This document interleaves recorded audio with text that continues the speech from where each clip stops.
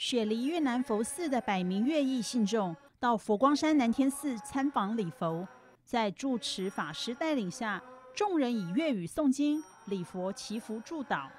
I, on behalf of the venerables of Forming Temple, ideally would like to express my gratitude to Nantin Temple for welcoming us so warmly. Thank you so much. 慈悲助人、弘扬佛法无所阻碍。将真善美的初衷无远福界传递。祝梦南美，Happy New Year！人间卫视澳洲雪梨综合报道。